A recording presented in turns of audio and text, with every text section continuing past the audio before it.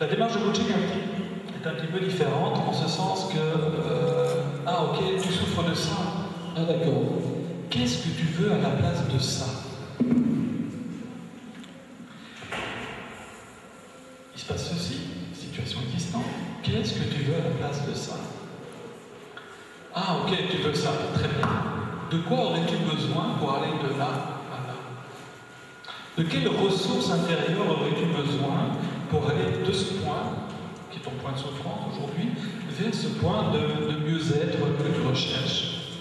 Ce pourrait être par exemple, j'ai besoin de plus de confiance en moi, j'ai besoin de pouvoir prendre de meilleures décisions, j'ai besoin, etc., etc., etc.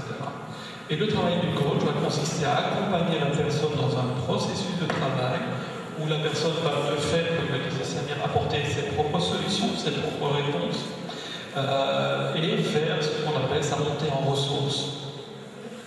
Donc simplement, on va l'accompagner vers ça. Le coaching est un travail anti-économique, en ce sens que euh, notre rôle à nous, c'est de remettre la personne le plus rapidement possible en autonomie et en action. Si ça prend une séance, formidable, on a super bien fait notre boulot. C'est pas économique, ça ne nous enrichit pas, on a vraiment bien fait notre travail. Alors il y a des sujets qui prennent un peu plus de temps. Mais généralement, on est sur quelque chose d'assez court, hein, de, l'ordre de 5-6 séances, ça peut monter à 10-12 séances dans, les cas les plus importants. Ce qui ne veut pas dire qu'on ne pourra pas retravailler un autre sujet plus tard sur autre chose, mais par rapport à un sujet précis, quelques séances parfois suffisent pour la personne repartir en action, tout simplement. Donc voilà un petit peu euh, ma vision peut-être plus personnelle du coaching.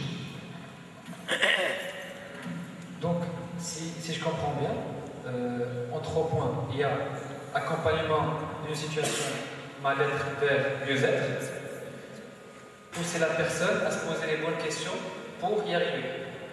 En fait, on ne pousse pas la personne à se poser les bonnes questions, on lui pose les bonnes questions, et elle apporte les bonnes réponses. Ce qu'il faut comprendre, c'est que c'est la personne qui apporte ses réponses à elle et qui apporte ses solutions. Nous l'accompagnons dans le processus de travail qui lui permet de trouver ses solutions, qui lui permet de faire sa transformation. Très bien.